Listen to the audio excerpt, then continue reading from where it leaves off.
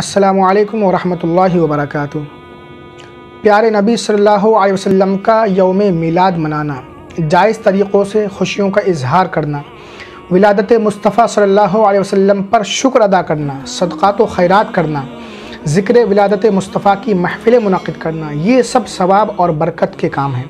یہ عمل تمام اسلامی ملکوں اور دنیا کے تمام مسلمانوں میں سینکڑوں سالوں سے جاری ہے۔ حضور صلی اللہ علیہ وسلم کا یوم میلاد منانا قرآن و حدیث کے مطابق ہے۔ حضور کا میلاد منانا جائز ہے، مستحب ہے اور اس کی اصل قرآن و سنت اور بزرگوں سے ثابت ہے۔ آج ہم جشن عید میلاد النبی صلی اللہ علیہ وسلم کو قرآن سے ثابت کریں گے۔ جشن عید میلاد النبی صلی اللہ علیہ وسلم ہی کیا قرآن مجید میں انبیاء کرام کی ولادت کا بھی ذکر مبارک موجود ہے۔ وہ بھی مخصوص دن کے ذکر کے ساتھ۔ قرآن پاک میں ہے، حضرت یحییٰ علیہ السلام کی ولادت کا ذکر اس طرح فرمایا گیا ہے۔ وَسَلَامٌ عَلَيْهِ يَوْمَ وُلِدَ وَيَوْمَ يَمُوتُ وَيَوْمَ يُبْعَثُ حَيَّا۔ اور یحییٰ پر سلام ہو ان کے میلاد کے دن، ان کی وفات کے دن، اور جس دن وہ زندہ اٹھائے جائیں گے۔ حضرت عیسیٰ علیہ السلام کے بارے میں قرآن مجید فرماتا ہے وَالسَّلَامُ عَلَيَّ يَوْمَ وُلِدْتُ وَيَوْمَ أَمُوتُ وَيَوْمَ أُبْعَثُ حَيَّا۔ مجھ پر سلام ہو میرے میلاد کے دن میری وفات کے دن اور جس دن میں زندہ اٹھایا جاؤں گا۔ پیارے دوستوں اسی کو تو میلاد منانا کہتے ہیں، جس میں درود و سلام ہو، ذکر ہو اور اچھی باتیں بیان کی جائیں۔ یہ تو قرآن سے ثابت ہے قرآن پاک میں عید کے تصور کا ذکر کچھ اس طرح بیان کیا گیا ہے۔ حضرت عیسیٰ علیہ السلام نے عرض کی، اے اللہ، اے ہمارے رب، ہم پر آسمان سے ایک دسترخوان نازل فرما۔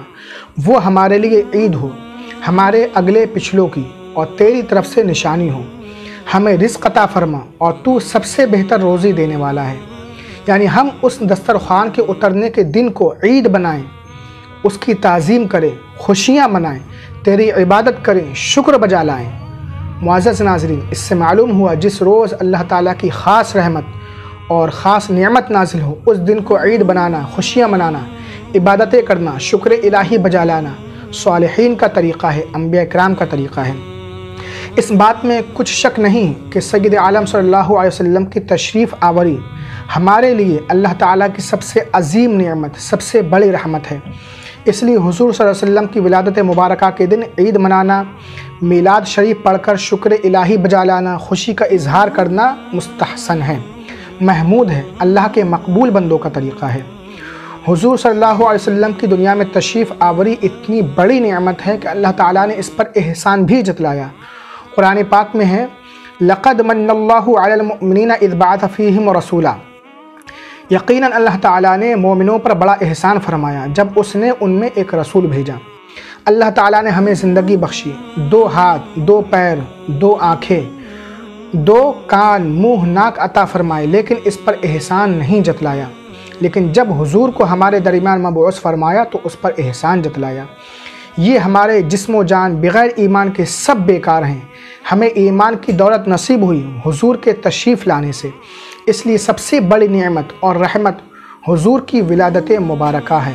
تو ہم اس پر خوشی کیوں نہ منائیں؟ ہم تو خوشی منائیں گے، بار بار منائیں گے۔ اللہ تعالیٰ کی نعمت اور اس کی رحمت پر خوشی منانے کو اللہ تعالیٰ نے ہمارے جمع کیے ہوئے مال و دولت اور ہر چیز سے بہتر فرمایا ہے۔ سورہ یونس میں اللہ تعالیٰ اشاد فرماتا ہے، قل بفضل اللہ وبرحمتی فبذلک فلیفرحوا هو خیر مما یجمعون آپ فرما دیجیے، اللہ ہی کے فضل اور اسی کی رحمت اور اسی پر چاہیے کہ خوشی کریں۔ وہ ان سب کے دھن دولت سے بہتر ہے۔ معزز ناظرین اس کے علاوہ قرآن پاک میں بے شمار آیت کریمہ موجود ہیں، جن سے حضور صلی اللہ علیہ وسلم کا یوم میلاد منانا ثابت ہوتا ہے۔ اس کے بعد انشاءاللہ احادیث کریمہ کی روشنی میں جشن عید میلاد النبی صلی اللہ علیہ وسلم کے ثبوت پر آپ سے کچھ گفتگو کریں گے۔ ویڈیو کو لائک کریں، کمنٹ کریں اور ثواب کی نیت سے آگے شیئر ضرور کریں۔ چینل کو سبسکرائب کریں۔ السلام علیکم ورحمۃ اللہ وبرکاتہ۔ محمد رسول الله.